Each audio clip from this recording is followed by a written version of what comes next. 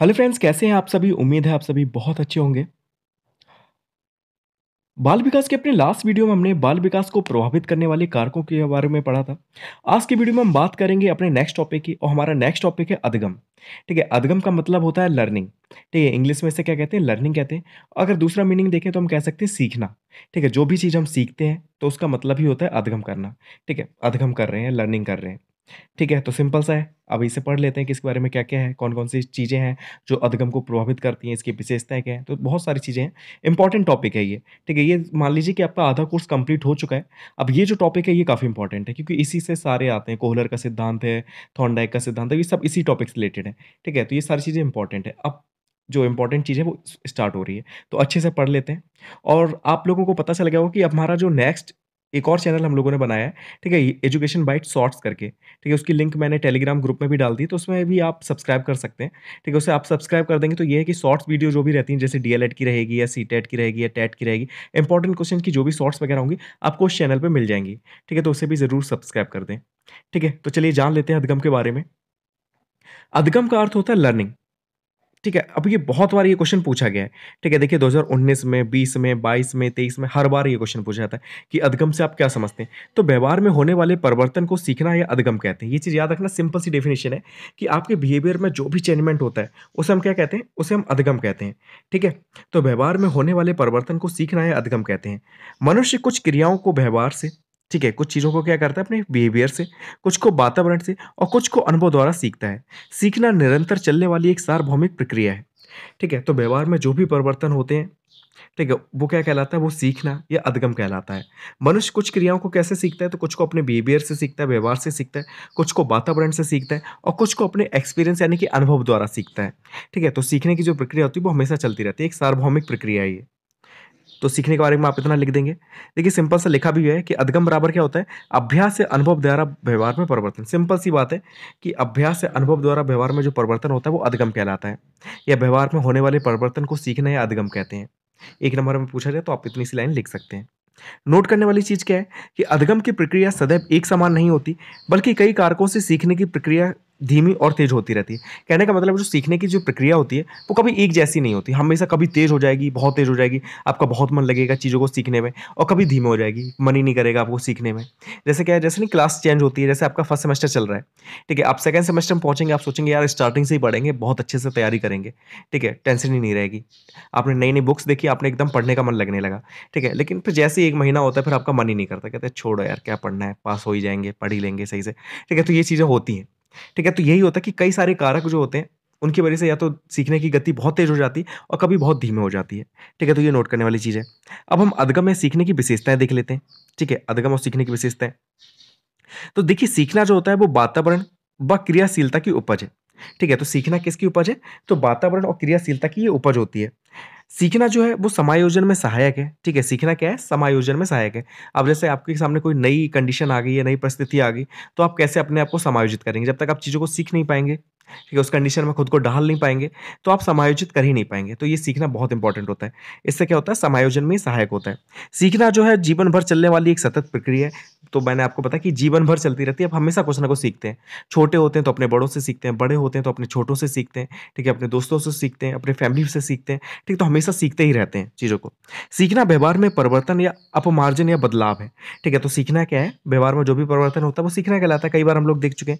सीखना उद्देश्यपूर्ण व निर्देशित होता है, ठीक है? जो सीखना होता है वो क्या हमेशा कैसा रहता है? उद्देश्यपूर्ण रहेगा। आपका कोई ना कोई उद्देश्य होगा, ठीक है? तभी आप चीज़ों को सीखेंगे। जैसे क्या है कि आप डीएलएड की तैयारी क्यों कर रहे हैं? क्योंकि आपको टीचर बनना है, ठीक है? टीचर बनना है इसलिए डीएलएड की तैयारी कर रहे हैं। आप डीएलएड पास करेंगे, उसका टेट, सीटेट निकालेंगे, उसका टीचर बन जाएँगे तो सिंपल से यही है कि उद्देश्यपूर्ण होता है कि ना कोई उद्देश्य रहेगा हमारा, कोई मोटिव रहेगा तभी हम चीज़ों को सीखते हैं। फिर है कि सीखना जो है स्थानांतरित भी रहता है, ठीक है? चीज़ें जो होती हैं वो बदलती भी रहती हैं एक स्थान से दूसरे स्थान तक, ठीक है? जैसे क्या कि आपने सीधे हाथ से कोई चीज़ सीखी, आप उल्टे हाथ से भी काम करने लग गए वही चीज़, ठीक है? तो ये चीज़ें रहती हैं वो स्थानांतरित भी रहती हैं, ठीक है? सीखना एक प्रक्रिया है, ना कि परिणाम। ठीक है, सीखना क्या है? एक प्रोसेस होती है रिज़ल्ट नहीं होता चीज़ों का। ठीक है तो सीखना क्या बताएगा? एक प्रक्रिया होती है, ना कि परिणाम। और सीखना सार्वभौमिक प्रक्रिया मतलब हमेशा एक जैसी रहेगी, सब लोग सीखते हैं। ठीक है, हमेशा चलती रहती है। ठीक है तो ये सीखने की विशेषताएँ आपको कोई भी पाँच याद कर लेनी है। ठीक है, सिंपल सी आप इन्हें याद कर सकते हैं। अब हम डेफिनेशन देख लेते हैं सीखने की, ये बहुत पूछी जाती हैं। ठीक है, और ये टैट में भी इंपॉर्टेंट है। ठीक है टैट वगैरह में सीधी सीधी डेफिनेशन लिखी होगी। आपसे पूछ लेगा, ये कथन किसका है? ये ये डेफिनेशन किसने दी है? ठीक है तो चार ऑप्शन देखने को मिलेंगे, आपको लगाना पड़ेगा। तो अभी से अच्छे से पढ़ लेते हैं, ठीक है? तो पहली जो डेफिनेशन है वो स्किनर के अनुसार स्किनर ने क्या कहा है सीखने के बारे में या अदगम के बारे में? कि सीखना व्यवहार में उत्तरोत्तर सामंजस्य की प्रक्रिया है। ठीक है सिंपल सी डेफिनेशन एक लाइन की है। बस आपको उत्तरोत्तर याद रखना कि उत्तरोत्तर अगर आ रहा है तो समझ लो किसकी है? स्किनर की है। ठीक है, सीखना क्या है? तो सीखना व्यवहार में उत्तरोत्तर सामंजस्य की प्रक्रिया है। ठीक है, सिंपल सी डेफिनेशन है किसकी? स्किनर की, कि जो सीखना है, वो क्या है? बिहेवियर में उत्तरोत्तर सामंजस्य की प्रक्रिया है। ये कहा था स्किनर ने। गिलफोर्ड ने क्या कहा? गिलफोर्ड ने कहा कि व्यवहार के कारण व्यवहार में परिवर्तन ही सीखना। कितनी अच्छी डेफिनेशन है कि व्यवहार के कारण, आपके बिहेवियर के कारण जो बिहेवियर में परिवर्तन होता है, वही क्या है? सीखना है। ये कहा था गिलफोर्ड ने। ठीक है तो याद रख लेना, गिलफोर्ड की भी इंपॉर्टेंट है। सिंपल सी डेफिनेशन होती है, वो जल्दी पूछ ली जाती है। ठीक है तो गिलफोर्ड ने क्या कहा कि व्यवहार के कारण व्यवहार में जो भी परिवर्तन होता है, वो सीखना होता है। ठीक है गेट्स एवं अन्य ने क्या कहा कि अनुभव एवं प्रशिक्षण के द्वारा व्यवहार में होने वाले परिवर्तन को सीखना कहते हैं, ठीक है? तो गेट्स एवं अन्य जो थे, इन्होंने कहा था कि अनुभव यानी कि एक्सपीरियंस और प्रशिक्षण ट्रेनिंग के द्वारा व्यवहार में जो भी परिवर्तन होता है, वो क्या है? वो सीखना है। ठीक है तो ऐसे याद रख लेना। क्रो एंड क्रो ने क्या कहा कि आदतों, ज्ञान एवं अभिवृत्तियों का अर्जन ही अधिगम है। ये भी सिर्फ़ मतलब सीखने की जितनी भी डेफिनेशन है, वो काफ़ी आसान है। ठीक है, आप इन्हें याद कर सकते हैं कि गिलफोर्ड ने कहा था कि व्यवहार के कारण व्यवहार में परिवर्तन हो रहा है तो वो सीखना है। गेट्स एवं अन्य ने कहा कि अनुभव एवं प्रशिक्षण के द्वारा व्यवहार में जो भी परिवर्तन होता है, वो सीखना है। क्रो एंड क्रो ने कहा कि आदतों, ज्ञान और अभिवृत्तियों का अर्जन जो है, वो क्या है? वो अधिगम है। बुडवर्थ ने क्या कहा? बुडवर्थ ने कहा कि नवीन ज्ञान एवं नवीन क्रियाओं का अर्जन करने की प्रक्रिया ही अधिगम है। ठीक है तो नवीन देखने को मिल जाए तो समझो बुडवर्थ का है कि नवीन ज्ञान एवं नवीन क्रियाओं का अर्जन करने की जो प्रक्रिया होती है, वो क्या है? वो अधिगम है। अब कैलविन के अनुसार भी देख लेते हैं। तो कैलविन ने कहा कि पहले के निर्मित व्यवहार में अनुभव द्वारा हुए परिवर्तन को अधिगम कहते हैं। ठीक है मतलब पहले से आपका जो बिहेवियर था उसमें आपने एक्सपीरियंस द्वारा कोई नई चीज़ें जोड़ दी, आपके परिवर्तन हो गया आपके बिहेवियर में तो वो क्या है? वो अधिगम है। तो ये कैलविन के अनुसार है। आपको ऊपर से दो या तीन डेफिनेशन याद कर लेनी है। जैसे गिलफोर्ड की याद रख लेना और वुडवर्थ की याद रख लेना स्किनर की याद रख लेना, ये इंपॉर्टेंट है। ठीक है तो स्किनर की अच्छे से याद रखना कि वो पूछी जा चुकी है। अब हम देख लेते हैं अधिगम को प्रभावित करने वाले कारक। मतलब कौन कौन से ऐसे कारक हैं जो अधिगम को प्रभावित करते हैं? ठीक है तो कौन कौन से कारक हैं जो अधिगम को प्रभावित करते हैं? तो पहला है कि शारीरिक और मानसिक स्वास्थ्य। अब इसके बारे में अगर आपको लिखने को आता है, दो नंबर में ये पूछा जाता है तो आप इनके बारे में भी लिख सकते हैं। जैसे कैसे शारीरिक और मानसिक स्वास्थ्य जो होता है, वो कैसे अधगम को प्रभावित करते हैं। अब जैसे क्या है कि आप अभी बिल्कुल फिट हैं, ठीक है? आप में एकदम फुर्ती रहेगी, आप एक्टिव रहेंगे, किसी भी चीज़ को बहुत जल्दी सीख लेंगे, ठीक है? आपका मन रहेगा उस चीज़ ठीक है? जब आप एक्टिव रहते हैं, आप स्वस्थ रहते हैं, आप कोई बीमारी नहीं होती तो आप चीज़ों को जल्दी सीख लेते हैं। लेकिन कभी आप बीमार होते हैं ठीक है, आप क्लास तो चले गए, घर वालों ने भेज दिया, लेकिन आपका मन ही नहीं लग रहा, आपका सिर दर्द कर रहा है, ठीक है फीवर आ रहा है या कोल्ड हो गया है तो खांस रहे हैं तो आपको चीज़ें समझ में नहीं आएँगी क्लियर ही नहीं होंगी, आप पढ़ ही नहीं पाएँगे, मन ही नहीं लगेगा तो ये चीज़ें होती हैं। तो शारीरिक व मानसिक स्वास्थ्य जो होता है, वो प्रभावित करता है अदगम को, सीखने को। दूसरा है सीखने की इच्छा। आप सीखने की इच्छा कैसे प्रभावित करती है? जैसे कोई चीज़ आपको सिखा सिखाई जा रही है, लेकिन आपका सीखने का खुद ही मन नहीं है, आपका सीखने का मन ही नहीं हो रहा है, जैसे क्या कि आपकी मैथ उतनी अच्छी नहीं है, ठीक है, और मान लीजिए आपकी साइंस अच्छी है तो मैथ में क्या आपका मन ही नहीं लग रहा? आप टीचर कितना भी आपको सिखाए, आपका मन ही नहीं करता सीखने का। ठीक है तो ये चीज़ होती है, जब सीखने की इच्छा ही नहीं होगी तो आप चीज़ों को सीख भी नहीं पाएँगे। तीसरा है प्रेरणा। आप मोटिवेट नहीं है। अगर आप मोटिवेट नहीं है किसी चीज़ को लेकर तो भी आप चीज़ों को नहीं सीख पाएँगे। और मान लिया कोई मोटिवेशनल स्पीकर आ जाए, ठीक है, उसने कुछ भी आपसे बोल दिया, उसके बाद आप चीज़ों को सीख रहे हैं तो आपका मन लग रहा है कि हाँ यार, ये तो करना ही करना है, ठीक है। तो ये भी चीज़ होती है, प्रेरणा का अभाव होता है। फिर है कि वातावरण, आपका वातावरण कैसा आप किस वातावरण में सीख रहे हैं? मान लिया आपका विद्यालय जो शांत जगह पर बना हुआ है, ठीक है, टीचर पढ़ा रहा है, बहुत अच्छा मौसम अच्छी अच्छी हवा चल रही है, आप चीज़ों को सीख रहे हैं, बहुत अच्छा लग रहा है। लेकिन मान लीजिए सब्ज़ी मंडी के आसपास, ठीक है, आपका विद्यालय, अब बहुत शोर शराबा हो रहा है, गाड़ियों के हॉर्न की आवाज़ आ रही है तो आपका मन ही नहीं करेगा सीखने का। या मान लिया कि लाइट नहीं आ रही प्रॉपर ठीक है, बादल आ गए तो पूरा अंधेरा हो गया क्लास में, आपका मन ही नहीं लगेगा सीखने में। तो वातावरण भी इंपॉर्टेंट रोल अदा करता है। फिर है कि विषय सामग्री का स्वरूप। ठीक है, विषय सामग्री होती है, उसका स्वरूप भी प्रभावित करता है। मान लिया आपकी प्रिंटेड है, जो बुक्स वगैरह होती हैं, वो प्रिंटेड होती हैं तो आपका मन करता है, यार कितने अच्छे अच्छे चित्र बने हुए हैं। ठीक है तो मन करेगा। जैसे छोटे बच्चों के लिए आपने देखा, जो किताब होती है, वो काफ़ी प्रिंटेड रहती हैं। ठीक है, ताकि उनका मन लगे उस चीज़ में। और मान लिया कि प्रिंटेड नहीं है ठीक है, एकदम सिंपल सी, सीधी डेफिनेशन वगैरह लिखी हुई है तो उनका मन ही नहीं करेगा पढ़ने का। या मान लो कि जो स्वरूप है वो काफ़ी कठिन है, ठीक है, उनकी लैंग्वेज जो लिखी हुई है उसमें बुक्स में, वो काफ़ी टफ है तो बच्चों का मन नहीं करेगा। सिंपल लिखी हुई होगी तो बहुत अच्छे से मन करेगा तो स्वरूप भी प्रभावित करता है सीखने को। फिर कि अनुशासन एवं रुचि। आपका जिस चीज़ में इंटरेस्ट होता है, आप उस चीज़ को सीख लेते हैं, ठीक है, जिस चीज़ में इंटरेस्ट नहीं होता, उसे आप नहीं सीख पाते। जैसे क्या है कि एक तरफ़ आपसे कह दिया जाए कि आप कार सीख लो, दूसरी तरफ़ आपसे कह दिया जाए कि नहीं आप टाइपिंग सीखो तो आपको दोनों में जिस चीज़ में ज़्यादा मन होगा, जैसे कार सीखने का ज़्यादा मन है तो आप कार को जल्दी सीख लेंगे टाइपिंग से। अगर आपका टाइपिंग सीखने का मन होगा तो आप टाइपिंग जल्दी सीख लेंगे। तो ये रहता है कि जिस चीज़ में इंटरेस्ट रहता है, उस चीज़ को हम जल्दी सीख लेते हैं। इंटरेस्ट नहीं होगा तो हम चीज़ों को सीख ही नहीं पाएँगे। फिर है परिपक्वता, आप कितने मैच्योर हैं? ठीक है तो अगर आप बहुत ज़्यादा मैच्योर हैं तो आप चीज़ों को जल्दी सीख लेंगे। आप मैच्योर नहीं है तो आप उस चीज़ को नहीं सीख पाएँगे। जैसे क्या है कि दस बारह साल का लड़का जो होता है, वो इतना मैच्योर नहीं होता, चीज़ों की इंपॉर्टेंस नहीं समझता तो वो चीज़ों को जल्दी नहीं सीख पाता। लेकिन अगर आप मैच्योर हैं तो आप चीज़ों को जल्दी सीख लेंगे। फिर है कि शिक्षण विधि, कि आपको किस शिक्षण विधि का यूज़ करके पढ़ाया जा रहा है? टीचर कौन सी शिक्षण विधि का यूज़ कर रहा है? क्योंकि आपने पढ़ा कि जो शिक्षण विधियाँ होती हैं वो बहुत सारी होती हैं, ठीक है? और कौन सी किस जगह फिट हो रही है वो टीचर को पता है। तो मान लीजिए प्रॉपर शिक्षण विधि से आपको नहीं पढ़ाया जा रहा तो आप चीज़ों को नहीं सीख पाएँगे और पढ़ाया जा रहा तो आप चीज़ों को अच्छे से सीख लेंगे। फिर आता है पूर्व ज्ञान कि आपको मान लीजिए कोई चीज़ पढ़ाई जा रही है, आपको पहले से उसके बारे में पता है तो चीज़ों को आप जल्दी सीख लेंगे। अगर पहले से आपको उसके बारे में नहीं पता है तो आप चीज़ों को नहीं सीख पाएँगे। जैसे क्या कि अभी आप जो डी कर रहे हैं तो कई सारी चीज़ें आप पहले से पढ़ चुके हैं, ठीक है? तो पहले से चीज़ों को पढ़ चुके हैं तो आप वो चीज़ें जल्दी सीख ले रहे हैं। और जो चीज़ें पहले आपसे नहीं पढ़ी, जैसे मनोविज्ञान है, ये आपने पहले से नहीं पढ़ा होगा, बाल विकास आपने पहले से नहीं पढ़ा होगा तो थोड़ा कम इंटरेस्ट आ रहा होगा स्टार्टिंग में। लेकिन धीरे धीरे करके जैसे आप पढ़ेंगे तो टैट में आपको इंटरेस्ट आने लगेगा क्योंकि अभी आप पढ़ ले रहे हैं अच्छे से। तो जब टेट में आपको पढ़ाया जाएगा, आप कोचिंग करेंगे, कैसे भी पढ़ेंगे तो आपको इन चीज़ों में इंटरेस्ट आएगा। आपको लगेगा हाँ यार तो पहले से पढ़ चुके हैं हम लोग, ठीक है? तो अच्छे से पढ़ लो इस चीज़ को। तो ये थे अधगम को प्रभावित करने वाले कारक। अब हम अधगम की प्रभावशाली विधियों के बारे में जान लेते हैं कि कौन कौन सी अधगम की प्रभावशाली विधियाँ मतलब सीखने की कौन कौन सी प्रभावशाली विधियाँ हैं, ठीक है? इफ़ेक्टिव मेथड्स ऑफ़ लर्निंग इसमें सबसे पहला जो मेथड आता है, वो आता है आपके इसका, वो आता है करके सीखना, ठीक है? करके सीखना या हम कह सकते हैं लर्निंग बाई डूइंग इसमें बच्चा क्या होता है, किसी भी चीज़ को सीखना होता है उसे तो वो खुद करके सीखता है। ठीक है, जब खुद करके सीखेगा तो उससे गलतियाँ होंगी, बहुत गलतियाँ होंगी। ठीक है, फिर उन गलतियों को वो कम करेगा, फिर गलतियाँ होंगी, फिर उनमें और सुधार करेगा तो धीरे धीरे करके वो चीज़ों को सीख जाएगा। तो ऐसे जब बच्चा कोई चीज़ सीखता है तो वो जो सीखना होता है, वो उसका स्थायी होता है।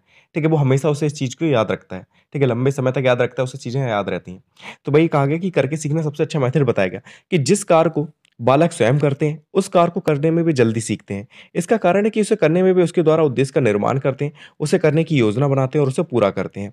इसके बाद अधगम में कितना सफल हुए, उसका आकलन करते हैं और अपनी गलतियों का पता लगाकर उसमें सुधार करते हैं। तो इसलिए सबसे अच्छा मेथड बताया गया कि इसमें बालक जो होगा, कोई भी कार्य करेगा तो वो स्वयं करेगा। स्वयं गलतियाँ करेगा, फिर उसमें सुधार करेगा, फिर करेगा, फिर गलतियाँ करेगा, फिर सुधार करेगा। तो ऐसे करके जो बालक सीखते हैं चीज़ों को, वो जो सीखना होता है वो स्थायी होता है। ठीक है, वो ज्ञान जो होता है वो स्थायी होता है। इसलिए करके सीखना सबसे अच्छा मेथड बताया गया है। दूसरा जो मेथड है, वो है अनुकरण द्वारा सीखना। 2017 में ये पूछा भी गया है कि अनुकरण द्वारा सीखना क्या है, ठीक है? इसमें क्या है कि सीखने की इस प्रक्रिया का आरंभ शैशवावस्था से ही प्रारंभ हो जाता है। इसलिए यह अधगम की अत्यंत महत्वपूर्ण विधि है। इस विधि में छात्र शिक्षक द्वारा अपने द्वारा की जाने वाली क्रियाओं का अनुकरण करके सीखते हैं। इस विधि में शिक्षक ही छात्र के लिए आदर्श होता है। ठीक है, अगर हम इस मेथड की बात करें, अनुकरण द्वारा सीखना तो अनुकरण कर रहे हैं आप किसी इंसान का, ठीक है? जैसे आपके सामने आपके मम्मी-पापा जैसा कर रहे हैं, आप भी वैसे ही करने की कोशिश कर रहे हैं। तो आपने देखा कि छोटे बच्चे जो होते हैं, वो नकल करते हैं, ठीक है? नकल करना ही होता है ये। एक तरीके से कि जैसे आपके पापा करते हैं तो आप भी करने बच्चे भी उसी तरीके करने की कोशिश करते हैं। तो वो कहलाता है अनुकरण द्वारा सीखना। तो यही है कि सीखने की इस अवस्था का जो प्रारंभ है, वो शैशवावस्था में ही प्रारंभ हो जाता है, ठीक है? शैशवावस्था से ही इस चीज़ की शुरुआत हो जाती है। इसलिए यह विधि अधगम की अत्यंत महत्वपूर्ण विधि है। इस विधि में छात्र जो होता है, वो शिक्षक द्वारा की जाने वाली क्रियाओं का अनुकरण करके सीखते हैं। इस विधि में शिक्षक ही छात्र के लिए आदर्श होता है। मतलब आपने देखा छोटी क्लासेस में जो टीचर्स करते हैं, ठीक है? बच्चों को भी बही करने को कर बोलते हैं जैसे कि वो कविता सुना रहे हैं तो हाव-भाव के माध्यम से वो कविता सुनाते हैं, ठीक है? बच्चे भी उनकी नकल करते हैं, उसी हाव-भाव से वो कविता सुनाते हैं, तो बच्चों को जल्दी याद हो जाती है, जल्दी चीज़ें समझ में आ जाती हैं। तो ये है आपका अनुकरण द्वारा सीखना। नेक्स्ट जो हमारी विधि है वो है निरीक्षण करके सीखना, यानी कि लर्निंग बाई ऑब्जर्वेशन। इस विधि में क्या होता है कि इस विधि में जो छात्र होता है, जो स्टूडेंट होता है, वो वस्तु या घटना को देखकर उसका अवलोकन करके ज्ञान प्राप्त करते हैं, ठीक है? कोई भी वस्तु आपके सामने रखी है, आप उसे देख रहे हैं, उसे देखकर जब भी कोई चीज़ आप सीखते हैं, तो वो निरीक्षण करके सीखना कहलाता है। देखी हुई वस्तु, घटना, चित्र आदि से प्राप्त ज्ञान स्थायी रहता है। ठीक है, जब भी कोई चीज़ हमारे सामने उपस्थित होती है, उसे देखकर हम कोई चीज़ सीख रहे होते हैं तो वो जो ज्ञान होता है, वो स्थायी होता है। ठीक है, जैसे टीचर है, वो प्रैक्टिकल कर रहा है, आप उसे देख रहे हैं तो उस देखकर आप जो ज्ञान प्राप्त कर रहे हैं, वो जो ज्ञान होगा, वो स्थायी होगा। निरीक्षण करते समय वे वस्तु को छूते हैं, प्रयोग करते हैं, देखते हैं। इस प्रकार से वे कार में एक से अधिक ज्ञान इंद्रियों का प्रयोग करते हैं। इस, ठीक है तो अब होता क्या है कि जब भी हम कोई कार ऐसा करते हैं जिसमें एक से अधिक ज्ञान ज्ञानेंद्रिय यूज़ हो रही है, जैसे आँख, कान, नाक, त्वचा, ठीक है, जब एक से अधिक ज्ञान ज्ञानेंद्रिय जो होती है वो यूज़ होती है तो वो जो ज्ञान होता है वो स्थायी हो जाता है। ठीक है, वो लंबे समय तक हमें चीज़ें याद रहती हैं। ठीक है, तो वही कहा गया कि जब भी हम निरीक्षण करके सीखते हैं तो हमारी आँखें जो होती हैं, हमारे जो कान होते हैं, ठीक है? कानों से हम सुनते हैं चीज़ों को, आँखों से देख रहे होते हैं, ठीक है? फिर हाथों से यूज़ कर रहे हैं मतलब त्वचा से यूज़ कर रहे हैं। तो ये सारी चीज़ें एक से अधिक ज्ञानेंद्रिय इसमें यूज़ हो रही है। तो इसलिए निरीक्षण करके सीखना जो है वो बेस्ट विधि बताई गई है, ठीक है? अच्छी विधि बताई गई है सीखने की और कहा गया कि इस विधि की सफलता के लिए ज़रूरी है कि छात्र जिस जगह पर छात्रों को ले जाए मतलब शिक्षक जिस स्थान पर छात्रों को ले जाए, उसे पहले स्वयं अवलोकन कर ले। मतलब अब टीचर सिखा रहा है निरीक्षण विधि के माध्यम से, अब टीचर जो करेगा वही तो जो छात्र वो देखेंगे, वही तो ऑब्ज़र्व करेंगे। लेकिन जब भी वो ऐसी जगह ले जाए जहाँ पर उसे ऑब्ज़र्वेशन कराना है छात्रों को, ठीक है, चीज़ें दिखानी है, निरीक्षण करवाना है, ठीक है, जैसे लैब वगैरह में ही होता है, तो पहले वो खुद ऑब्ज़र्व कर ले, खुद वो प्रैक्टिकल करके देख ले कि वो चीज़ सही है कि नहीं, उसके बाद स्टूडेंट को कराए। ठीक है, तो इससे खतरा जो होगा वो कम हो जाएगा। ठीक है, तो ये विधि भी हमने देख ली। लास्ट जो इसमें विधि है वो है परीक्षण करके सीखना, यानी कि लर्निंग बाई टेस्टिंग नवीन तथ्यों की खोज करना एक प्रकार का सीखना है, ठीक है? जब भी हम नई नई चीज़ें खोजते हैं तो वो भी क्या एक प्रकार से सीखना ही होता है। इस विधि में छात्र जो होते हैं, वो स्वयं प्रमाणों को एकत्रित करके, उनका परीक्षण करके ज्ञान प्राप्त करते हैं, अर्थात प्रमाणों का परीक्षण करके निष्कर्ष पर वो पहुँचते हैं। इससे वह जिन बातों को सीखते हैं, वे उसके ज्ञान का अभिन्न अंग बन जाते हैं, ठीक है? तो परीक्षण करके सीखने में क्या होता है कि हम क्या करते हैं नए नए तथ्यों की खोज करते हैं, और जब भी हम नए नए तथ्यों की खोज करते हैं तो बहुत सारी चीज़ें हमें सीखने को मिलती हैं उससे, ठीक है? तो ये होता है परीक्षण करके सीखना। इस विधि में जो स्टूडेंट होते हैं, वो स्वयं प्रमाणों को एकत्रित करते हैं ठीक है, जो भी प्रमाण उन्हें मिलते हैं, उसे एकत्रित करेंगे, फिर उसका परीक्षण करेंगे, उनसे नई नई चीज़ें उन्हें मिलेंगी, उससे वो चीज़ों को सीखेंगे। तो ये होता है परीक्षण करके सीखना या लर्निंग बाई टेस्टिंग। तो हमने सीखने के जो इफ़ेक्टिव मेथड थे, उनके बारे में जान लिया। अब हम सामूहिक विधियों द्वारा सीखना देख लेते हैं कि कौन कौन सी सामूहिक विधि हैं, जिनके द्वारा हम सीखते हैं चीज़ों को। ठीक है, देखिए, जो अधगम होता है, वो व्यक्तिगत और सामूहिक दोनों विधियों द्वारा होता है। इन दोनों में सामूहिक जो विधियाँ होती है, वो अधिक उपयोगी एवं प्रभावशाली होती हैं। ठीक है? अब होता क्या कि देखिए, सीखते तो आप चीज़ें अकेले भी हैं, ठीक है? कि अकेले आप कुछ ना कुछ करते रह रहे हैं, कुछ करते जा रहे हैं उससे चीज़ों को सीख रहे हैं। और कभी कभी आप ग्रुप में भी सीखते हैं कि अपने दोस्तों के साथ आपने चीज़ें सीखी, जैसे विद्यालय में, और जो स्टूडेंट्स हैं, उनके साथ चीज़ें आपने सीखी। तो देखिए, सीखते हैं दोनों तरीके से, लेकिन इफ़ेक्टिव कौन सा ज़्यादा रहता है? तो जो सामूहिक विधियों के माध्यम से आप जो भी चीज़ सीखते हैं, वो अधिक उपयोगी होती है और प्रभावशाली होती है। क्यों होती है इतनी इफ़ेक्टिव? क्योंकि इसमें क्या ग्रुप के माध्यम से सीख रहे हैं, सभी के विचार उसमें सम्मिलित होते हैं, कि कोई विचार आपके मन में आया, आपने बताया। कुछ कोई विचार जो है आपके दोस्तों के मन में आया उसने बताया। कुछ विचार जो है टीचर ने अपने रखे तो ऐसे करके कई सारे विचार आते हैं। चीज़ों को तो हम चीज़ों को जल्दी सीखते हैं दूसरों के विचार सुनने का मौका मिलता है। तो इसलिए जो सामूहिक विधि है उसे अच्छा माना गया है। ठीक है? तो कौन कौन सी सामूहिक विधियाँ हैं वो देख लेते हैं। तो, तो सामूहिक विधियों में कौन कौन सी विधियाँ आ जाती हैं? तो इसमें सम्मेलन एवं विचार गोष्ठी विधि आती है जो डिबेट वगैरह कराई जाती है विद्यालय में। तो वो इसमें शामिल हो जाती है। दूसरी प्रोजेक्ट विधि जो होती है वो इसमें शामिल हो जाती है कि प्रोजेक्ट दे दिया जाता है। ठीक है ग्रुप में डिवाइड करके बच्चों को। तो प्रोजेक्ट विधि होती है, वो अच्छी मानी गई है, वो सामूहिक विधि आ जाती है। तीसरा है समूह अधिगम, कि समूह में बच्चों को बिठा दिया गया ठीक है, उनसे कोई ना कोई टॉपिक दे दिया उससे सीखने के लिए कहा गया। ये वर्कशॉप विधि, ठीक है तो ये जितनी भी विधियाँ हैं, वो कैसी हैं? ये सामूहिक विधि हैं, जिनके माध्यम से हम लोग चीज़ों को सीखते हैं या अधिगम करते हैं। सबसे पहले सम्मेलन एवं विचार गोष्ठी विधि की बात अगर हम करें तो इसे कॉन्फ्रेंस एवं सेमिनार मेथड भी कहते हैं इंग्लिश में। इस विधि में किसी विशेष विषय पर छात्र छात्राओं द्वारा विचार विमर्श, वाद विवाद एक निश्चित समय में करना होता है। इसमें ऐसे प्रकरण पर विचार किया जाता है जिसमें सभी सदस्यों की रुचि होती है। ठीक है, अब होता क्या है, सम्मेलन में विचार गोष्ठी विधि विधि में। इसमें हम क्या करते हैं, एक विशेष टॉपिक ले लेते हैं। ठीक है, कोई टॉपिक ले लेते हैं उस पर विचार विमर्श करते हैं। कई सारे ग्रुप होते हैं बच्चों के। ठीक है, अब उनसे क्या कि उस चीज़ पर विचार रखने को कहा जाता है।